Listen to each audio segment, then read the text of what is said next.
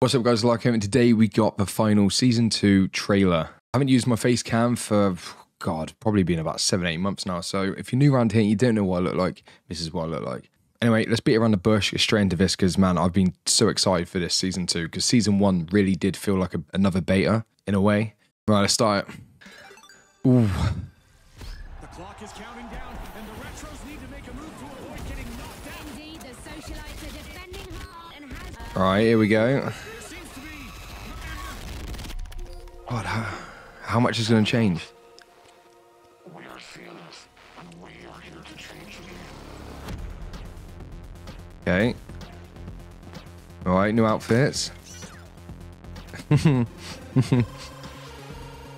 new map.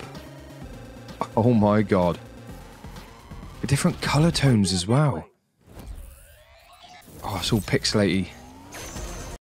I had to give that a quick rewind. Can't get over this. This is nuts. It's like a completely different game. Yeah, but Gateway looks cool, I gotta admit. This reshaper as well. Nuts. Dematerializer, see what? Anti-gravity cube. apologies. We seem to be having some technical but one thing's for certain. Oh. Come on, what else? 5v5 mode, power shift. Hang on a minute. What is that platform about? Jesus.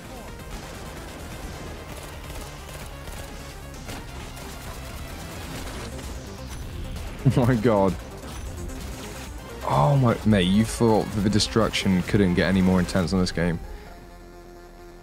That's nuts. Really interested as well to see how this new AR works. It's got a free round burst.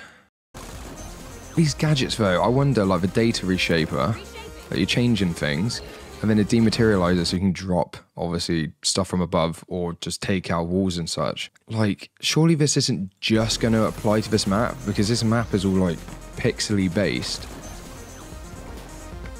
Look, oh my god, the data reshaper as well, you can actually get rid of turrets and such. Look at it, you just get rid of it like that. I, oh my god, I can't wait to get rid of those annoying ass turrets people keep constantly putting down when they flood the map with them. And mines as well, I assume that'll apply to.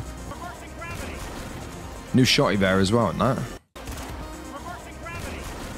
It is a new shotty. I still can't get over this. I, I can't wait to play this game mode. The destruction is just nuts. See, this is one big gripe I've sort of always had with the finals, is you can only have teams of three on the team-based modes. And when you do have more friends playing, it's just it's such a pain. I've had it quite a few times where there's been four of us, and we haven't been able to get the fourth person in. But with this 5v5 game mode, oh, it's just, it's gonna, oh, I can't wait. I can't bloody wait.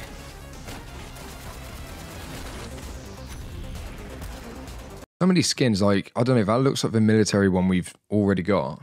I remember that. Oh, wait, hang on, go back, go back. I remember something similar to this in the beta. Like, overall, these these outfits aren't, like, too impressive. There is some cool stuff in here, but, you know, there's nothing, like, out of the ordinary here. But we know what Embark are like. They're without a doubt going to be adding some cool stuff in. And I assume he is going to be your little shoulder pal. Oh, the bunny outfit. And this as well, this orange little foxy thing. This was from the beta too. I remember using this. Yeah, so we've got the Love Heart little face mask thing. He's got a TV on his head. I'm so, man, I absolutely love these colours for different like day and night cycles too. This here in night just looks crazy. Then it switches to day and it's like a completely different map. Like these color tones are just crazy. Yeah, I mean, I'm, I'm super excited for this. I, I always have been for next content we, we were going to get on the finals. Season one, like I said at the start, did always feel like another beta in a sense where they were just polishing up loads of the game's aspects. The thing is, right, I've seen Embark and me getting a lot of hate the last like couple months every now and then. People hating on them because they're not adding a private match mode to like stand against competitive game types and stuff where people want to do like private tournaments. And I don't feel like that should be the main focus for them. People have been giving them a lot of slack for stuff like that. Stuff that's so basic, but they've still been pushing out updates every single week since December, and it's it's nuts. I can't remember how many updates there's been. I think there's been like nearly 20 or over 20 updates now. I could be wrong, but either way, it's like it's at least over 14 or 15. And Embark actually listen to the community. They know what we want. They're not going to give us everything at once. You do that, you're going to oversaturate your game. But this is nuts. For a free to play game for season two content, this is impressive, I gotta say. Season one, obviously, they only brought in a battle pass system with unlocks through there, you know, like skins and camos and stuff. And with this, they've added a whole new map, which I think people had the feeling that they were going to do anyway. It's kind of obvious that we need more. Embark deserves their flowers. They, ugh, I just, I don't understand how people hate on them. I really don't. I know the player base has fallen, but this is a competitive sort of type of game. Even when you're playing casuals, it feels like you're sweating. I'm excited for this. I'm, I'm seriously impressed with Embark on this too. It literally looks like a whole nother game. Like it's, it's, it's nuts. And I can't wait to see what the future seasons bring. Just thought I'd mention as well, because I've headed on to the finals intel just to see if there was anything else on Twitter. So the gateway is going to be available for lights, the data reshaper and dematerializer is for mediums, and then the anti-gravity cube for heavies. God, this suits for classes so well. The reshaper and dematerializer, I can't I can't wait to use that. And I also seen this. PlayStation have put Hack Your Way Through the Finals Season 2 live March 14th. Now I don't think the official map name has been released. But as you can see here, hack your way through. It has the AC, AUR, and then the A above it. So maybe Akura is the what the map's going to be called. I don't know. It could be Akura. I, I ain't got a clue.